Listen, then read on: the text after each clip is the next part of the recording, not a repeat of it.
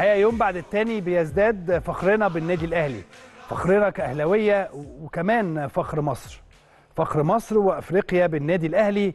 طبعا لأن النادي الأهلي دايما بيكون في حتة تانية في مكانة مختلفة.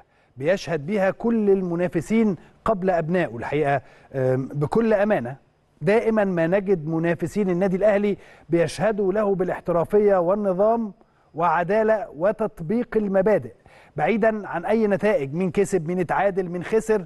تمام دي بتبقى في الكورة. ساعات بنكسب ساعات بنخسر. حاجة هنتكلم في هذا الأمر. ولكن دائما يظل النادي الأهلي هو فخر مصر الحقيقة في الرياضة المصرية. ودايما ده اللي إحنا بنشوفه من خلال أوجه الناس كلها أو وجوه الناس كلها.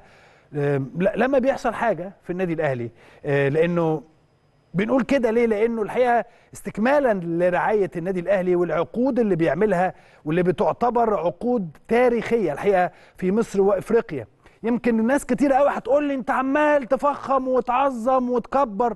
والله يا جماعة يمكن عشان أنا في الموضوع شوية فببقى عارف آه، كيف تعمل تعمل الشركة المتحدة مع مع النادي الأهلي عشان يقدروا يجيبوا حاجة تليق باسم النادي الأهلي وبسمعة النادي الأهلي. الموضوع مش بسيط زي ما حضرتك متخيل متخيل إنه أنا ما أعرفش الناس بتتخيل في هذا الأمر إزاي ولكن مهندس سيف الوزيري والاستاذ محمد يحيى مع الكابتن خطيب ومجلس إدارة النادي الأهلي في الجانب الآخر. الحقيقة مش عايز أقول لحضراتكم إيه اللي بيحصل عشان نصل لهذه الأرقام. الأرقام اللي إحنا الأرقام في في الفلوس يعني.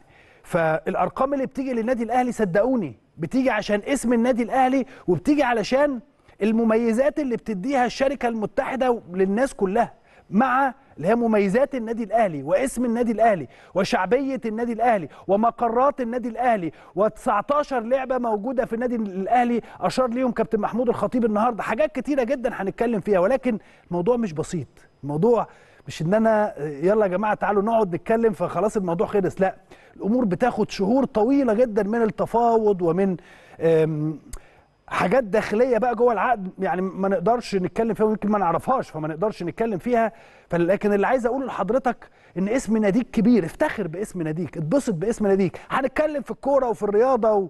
وهنتكلم في اللي بيحصل في الكورة وتعادلنا إزاي مع سان داونز وهنعمل إيه الفترة اللي جاية وهنتكلم في كل الكلام ده. ولكن هنتكلم وإحنا فخورين هنتكلم وإحنا سعداء باسم نادينا ومبسوطين إن عندنا نادي أو عندنا مجلس إدارة آه، بيقدر يجيب لنا رعاة مع بالشراكة طبعا مع الشركة المتحدة آه، آه، لهذا الأمر. فبالتالي اسم النادي الأهلي كبير جدا. خلينا نفتخر ودايما نبقى مبسوطين.